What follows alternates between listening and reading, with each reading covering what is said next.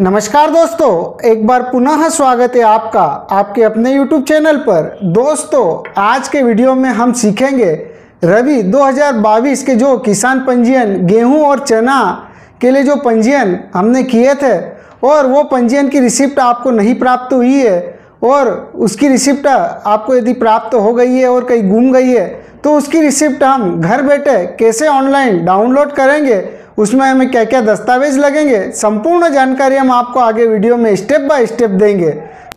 तो दोस्तों, वीडियो शुरू करने से पहले यदि आप हमारे चैनल पर नए हैं तो हमारे चैनल को सब्सक्राइब करें, बेल आइकन को ज़रूर दबाएँ, जिससे हमारे आने वाले वीडियो के नोटिफिकेशन आपको समय समय पर मिलते रहे। चलिए दोस्तों, वीडियो शुरू करते हैं।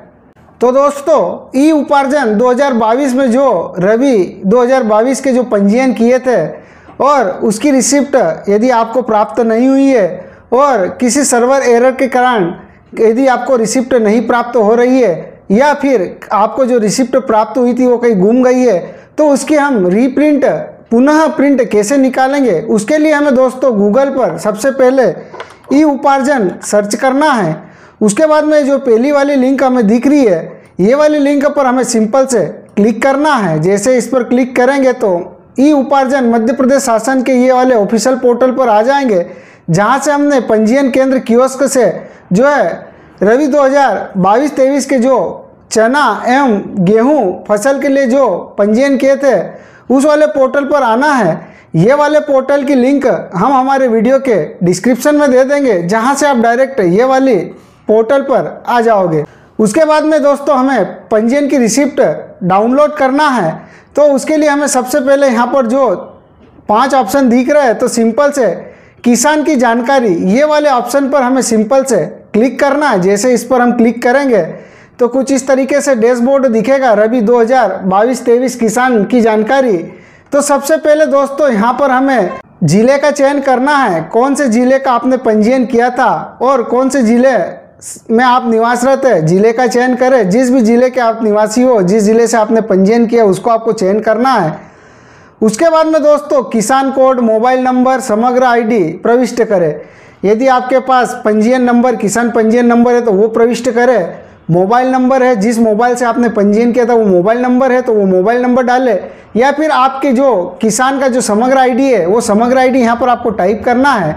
उसके बाद में कैप्चा कोड यहाँ पर डालना है, जो कैप्चा कोड दिख रहा है कैप्चा कोड यहाँ पर डालना है और सिंपल से किसान सर्च पर हमें क्लिक करना है। तो दोस्तों, जैसे हम किसान सर्च पर क्लिक करेंगे तो कुछ इस तरीके से जो है हमें डैशबोर्ड दिखेगा, जिसमें सबसे पहले किसान का नाम, पिता पति का नाम, समग्र आईडी मोबाइल नंबर ज़िले का नाम, तहसील का नाम, गाँव का नाम और बैंक किसान का भुगतान आधार से लिंक खाते में किया जाएगा। इसलिए दोस्तों, यहाँ पर आपका जो बैंक का नाम यहाँ पर आपको नहीं दिखे, शो होगा। उसके बाद में आपका आवेदन पंजीयन कोड यहाँ पर आपको दिखेगा। पंजीयन का प्रकार, यानी कि पंजीयन कहाँ से किया था तो हमने एमपी ऑनलाइन कियोस्क से किया था तो एमपी ऑनलाइन कियोस्क आपने साइबर कैफ़े से किया होगा तो साइबर कैफ़े सीएससी से किया होगा तो सीएससी जिससे भी आपने पंजीयन किया था, वो पंजीयन का प्रकार दिखेगा। पंजीयन केंद्र दिखेगा। उसके बाद में दोस्तों, आपने जो पंजीयन करते समय आपका जो है, ये पंजीयन आधार से सत्यापित हो चुका है तो यहाँ पर दिखेगा आधार से सत्यापन। ई के किसान की ई के भी हो चुकी है, ये सारी जानकारी दिखेगी। उसके बाद में पंजीकृत रकबे की जानकारी, फ़सल अनुसार यहाँ पर जो आपने जो फ़सल की जानकारी डाली थी, जिस फ़सल के लिए आपने पंजीयन किया था, वो जानकारी दिखेगी। ये सारी जानकारी आपको यहाँ पर दिखेगी। तो हमें इसकी रीप्रिंट निकालना है तो दोस्तों यहाँ पर आवेदन पर्ची प्रिंट करने के लिए यहाँ क्लिक करें। तो सिंपल से इस पर हमें क्लिक करना है। तो दोस्तों, कुछ इस तरीके से हमें डैशबोर्ड दिखेगा। खाद्य नागरिक आपूर्ति एवं उपभोक्ता संरक्षण विभाग रवि फ़सल के उपार्जन हेतु किसान पंजीयन पर्ची 2022-23 तो यहाँ पर सबसे पहले समग्र आईडी, किसान का व्यक्तिगत जानकारी जिसमें नाम, पिता का नाम, जिला, ग्राम, तहसील दोस्तों, यहाँ पर आपको पंजीयन दिनांक भी दिखेगी कि कौन सी तारीख को आपने पंजीयन किया था। वो पंजीयन दिनांक यहाँ पर दिखेगा, मोबाइल नंबर दिखेगा। उसके बाद में वर्ग, आधार नंबर, नॉमिनी की जानकारी डाली होगी तो ये कुछ इस तरीके से आपको दिखेगा। जब आपने पंजीयन किया था, पंजीयन करते समय जो रिसिप्ट आपको प्राप्त हुई है, वैसे वैसे आपको ये रिसिप्ट प्राप्त होगी। यहाँ पर प्रिंट पर क्लिक करना है और इसकी प्रिंट निकाल कर संबंधित ग्राहक को देना है। या फिर आप घर बैठे अपना पंजीयन की रसीद प्रिंट कर रहे हो तो अपने पास सुरक्षित संभाल कर रखना है। तो दोस्तों, इस तरीके से आपको रबी 2022-23 फ़सल किसान पंजीयन जो है गेहूँ और चने के लिए जो पंजीयन हो रहा है, उसकी जो रिसिप्ट यदि गुम गई है तो इस तरीके से आपको रिसिप्ट ऑनलाइन पुनः निकालनी रहेगी। और ये रिसिप्ट आपको ऑनलाइन जो है समग्र आईडी, मोबाइल नंबर या जो आधार नंबर है, उससे ही आपको ये समग्र आईडी आपकी प्राप्त होगी।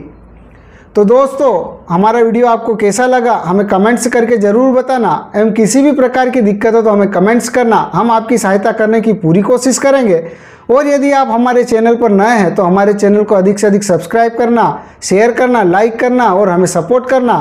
तो दोस्तों, इस वीडियो में इतना ही। मिलते हैं अगले वीडियो में कुछ नए के साथ। तब तक के लिए जय हिंद, वंदे मातरम।